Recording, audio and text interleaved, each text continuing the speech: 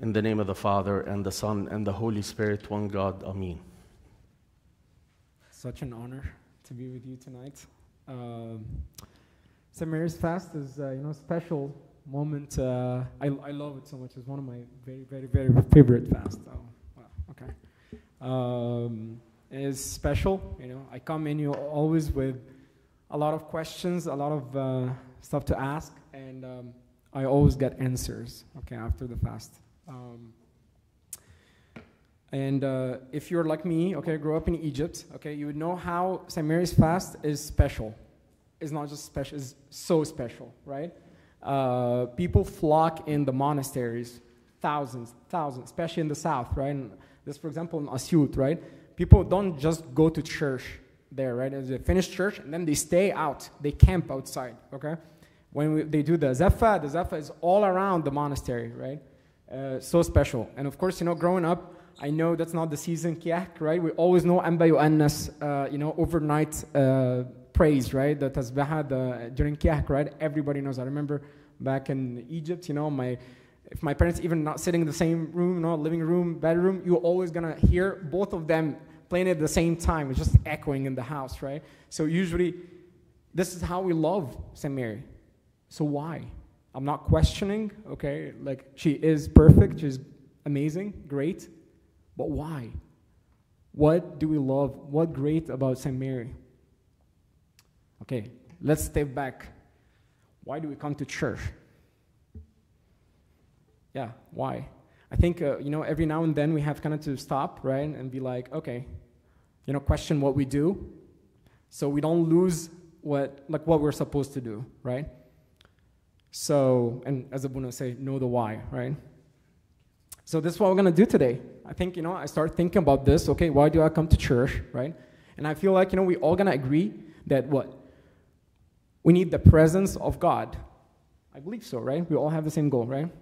Have the presence of God. Because we know when God is active, when God is here, when God is present, hard things become easy, right? Do you agree? And uh, if God is not here or God is not present, what happens? Life gets what? Harder. Easy become hard. When I'm with God, I'm in heaven. If I'm not with God, bad place. Right? Is God present in your life? Say yes or no. Yes? All right. It's, it's a tricky question, right? God is present? Of course it is. He's, he's present. What are you talking about, Wasim? Is he necessarily like always present? You know what I'm talking about, right? That's a, yeah, that's a question. So I actually I started looking up the internet, okay, to see what is, how do you define the presence of God, okay? And I saw there is the like they categorize present, God's presence in three different categories, all right? So there's omnipresence and omnipresence. What is omnipresence? Yes, everywhere. This is probably the answer that you got from the question, right? Like, uh, oh, where is God? Everywhere, of course, right? Indwelling, right? How do you define this? Yes, if you're Christian, you're charismatic, right? And you come to church, right? Take part in communion, right? God is in you, right? Manifesting presence. Okay, what is manifesting presence, right? It's like a personal experience that you have with God, okay? That even though you are in the middle of the church in a camp, retreat, you forget everything and you focus on God. I believe everybody from us, right? We all went to church camps or khilwa back in uh, Egypt, right? Uh, or the liturgy that you went to the monastery, or liturgy you come here, you know, the, the 5 a.m. liturgies we used to have on Tuesday, on Wednesday, right? And you feel like, wow, God is talking to me now. It's different a liturgy that you never forget, right? So that's the goal. I believe that that's the goal of life to always live in this constant state, to be always, God is always within you. You're always thinking about Him. You always have this interaction, personal experience. And this is what St. Mary had. And today, I think tonight you're here. It's not because, oh, I chose to come to church is because God is reaching out to you. And He reached out several times. Let's start from book of Genesis. You guys have an hour? Let's talk about it. Book of Genesis, God created men. God created everything, right? And when he created men, what? Do you say, oh, I'm not going to let you eat or anything? No. Give you power over everything, right? But Genesis 3 happened. Oops, what happened? He chose to break this intimacy. Literally, God was walking with them in the garden, walking with them in the garden. How intimate this is. So intimate. But what did God say? Did God say, all right, that's a headache. Okay, I'm not going to reach out. Why? No. How many of us servants, when we go to Sunday school, okay, when that annoying kid, you know, just doesn't come, thank God, alhamdulillah. That class would be awesome today, right? So, no different. What did he do? Moses came. He was like, let's build, you know, the tabernacle. Very detailed. He wants the people to know that I am with them. I'm with you everywhere. You walk, I'm with you. Go to war, I'm with you. Everywhere. That's, uh, I want to be more closer. You know what? Let's build a temple. And I'm going to fill the temple with all my glory. Did he stop? No. He became man. He took flesh, uh, which is, I love here in our church when we use this. Took flesh, avici sarex. Took flesh, became like us. Ate, walked, had a mom, had friends, was betrayed, crucified,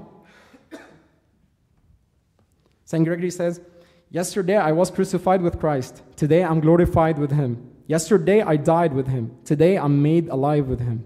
Yesterday I was buried with him. Today I'm raised up with him. We did everything with him. We are like 100% fellowship. He even taught us how to win over death. Did he stop? No. He wants to come even closer. His body become food for us. For only Last Supper? No. Every single Sunday or every single day. He always says, He who eats my flesh and drinks my blood abides in me, and I in him. Did he stop? No. Revelation 3 Behold, the tabernacle of God is with men, and he will dwell with them, and they shall be his people. God himself will be with them and be their God. Always with us. Wow. So, from his side, he's done everything. From the beginning of the book till the end of the book. Beginning, God with man, end, God with men. Clearly, that's the goal, right? What is the goal? To be with Him, to be with us, be in fellowship, or to use the church word, communion. That's the goal. That's God's goal. So let's get back to our question. Why are we at church? Because we need our his presence.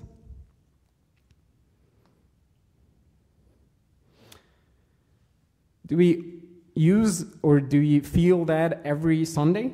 Can we feel it like every day? There is a book I like by Father Alexander Schmemann. Okay, it's talking about sacramental life. Okay, sacramental life. So you know the sacrament, the Eucharist, right? Is a sacrament, but having a sacramental life, not not just Sunday, every day. He says, since the church is to proclaim that mystery and communicate it to the people, the essential act by which she accomplishes, she, the church, this is always a sacramental act through this act, we are made participants in the mystery of Christ's death and resurrection, and thus we enter into the very life of kingdom. We are made participants.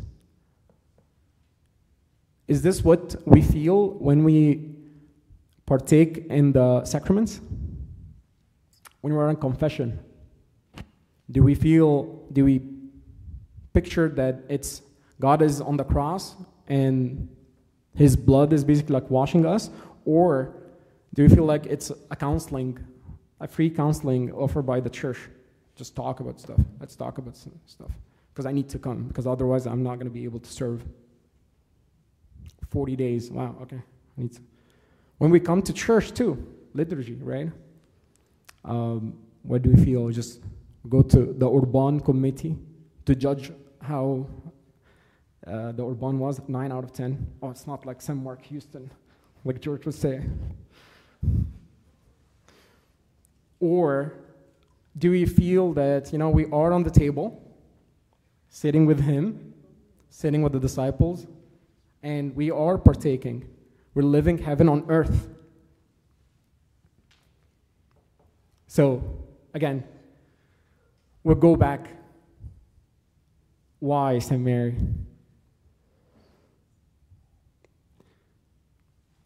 And why sometimes we feel like God, with all this, all the means that He, he made to reach, uh, reach to us, we always feel that we are sometimes lonely and miles and miles away from Him.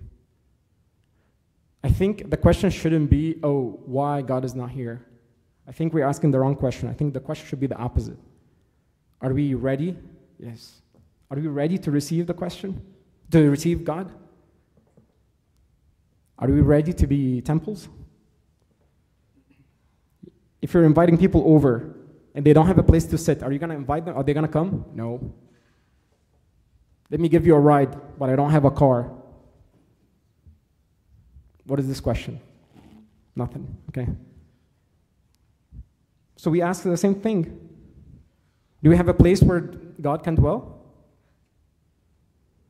And that's why we are obsessed with St. Mary, because she's the real temple. What do you mean, real temple? How many times we heard that, you know, St. Mary talked, preached? Not many times. In the gospel, she didn't talk much. Did she preach? Tradition doesn't say anything about that. However, we know she's like perfect. When we said Hail, Hail Mary, right? What do we say? The grace of Daniel, joy of Abel, right? Who are those people? They lived like, you know, hundred, hundreds of years before St. Mary. Basically, the church is saying that whatever she acquired, this is like, you know, the grace of Daniel. This is like the joy of Abel. This is how how God was present in her life. So let's, uh, you guys remember Genesis 3, we talked about, right? In the beginning. After man sinned, what did God say? What did God, uh, God said something, like ask a question.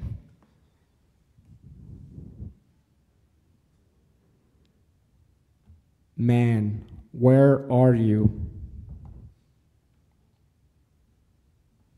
Beautiful question. The God didn't know where they were. Of course, he, he knew, right? How did God say this? Angrily? Where are you?